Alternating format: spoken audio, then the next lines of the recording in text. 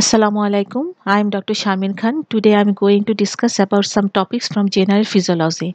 Now let us proceed to the topics that we are going to study today. Today we are going to study about transport system across the cell membrane. The transport system across the cell membrane may be defined as that is, it is a biophysiochemical phenomenon by which different substances like molecules or ions are transported through the cell membrane from inside to outside or vice versa. The transport system may be classified as micromolecular membrane transport process and macromolecular membrane transport process. The micromolecular membrane transport process consists of active transport and passive transport. The active transport is again subdivided into primary active transport and secondary active transport which consist of co-transport and counter transport and passive transport is divided into osmosis and diffusion. Diffusion is again divided into simple diffusion and facilitated diffusion. Now macromolecular membrane transport is also divided into two parts that is endocytosis and exocytosis. Endocytosis is again divided into phagocytosis and pinocytosis. Now let us discuss about passive transport the passive transport may be defined as transport of substances along the concentration gradient or electrical gradient or both that is electrochemical gradient from a region of higher concentration to a region of lower concentration. It is also known as downhill movement. It does not require any energy. The molecule moves from high concentration to low concentration. It is like swimming in the direction of flow of water of flow in the river. Now, as we know, the passive transport is divided into osmosis and diffusion. Diffusion is further divided into simple diffusion and facilitated diffusion. Now, what is diffusion? The random molecular movement of substance, molecule by molecule, either through intermolecular space or in the membrane or in combination with carrier protein from higher solute concentration to lower solute concentration is known as diffusion. No external energy is required in case of diffusion. This diffusion is again divided into simple diffusion and facilitated diffusion. As we see here, in case of simple diffusion, there is no need of carrier protein, but in case of facilitated diffusion, it occurs with the help of the carrier protein. Now, simple diffusion. The kinetic movement of molecules or ions occurs through a membrane opening or through intermolecular space without any interaction of the with the carrier protein in the membrane is known as simple diffusion. What are the criteria of simple diffusion? That is the movement from high to low concentration area, no need of additional energy, no need of carrier protein. The simple diffusion occurs through the channel protein and lipid bilayer interstices. Which is the most important? What are the examples of simple diffusion? That is the diffusion of respiratory gases like oxygen and carbon dioxide across the respiratory membrane. Now facilitated diffusion. Facilitated diffusion means the movement of the molecules or ions through the membrane from higher solute concentration to lower solute concentration by binding with the carrier protein along electrochemical gradient. Here we must have to mention that in case of facilitated diffusion there must have to be present with the carrier protein. Carrier, this carrier protein undergo repetitive conformational changes during the process that is structural change.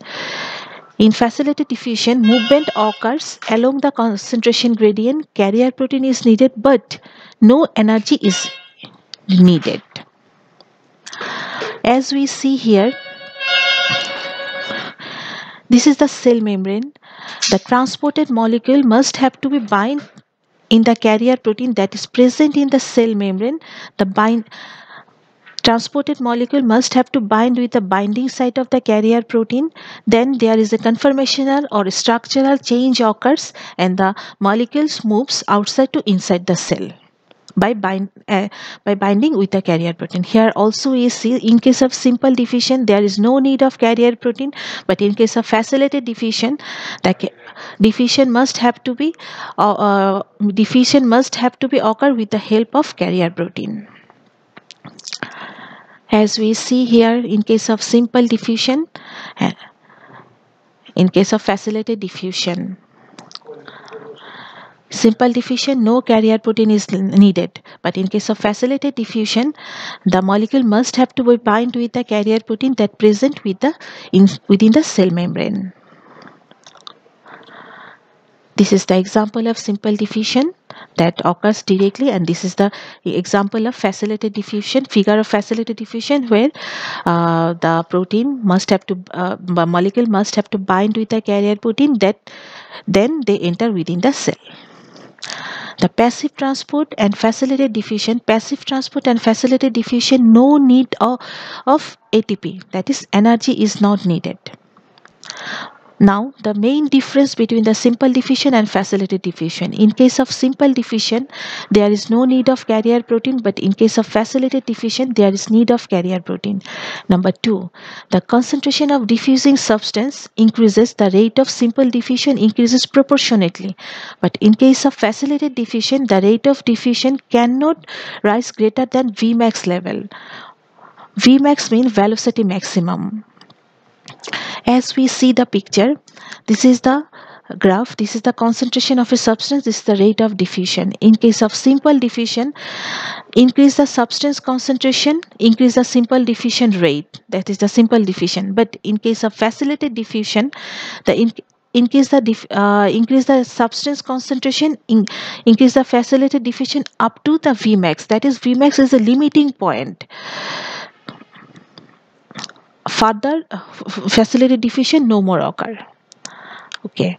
Now the factors affecting the rate of diffusion. There are several factors that greatly affect the diffusion through a cell membrane.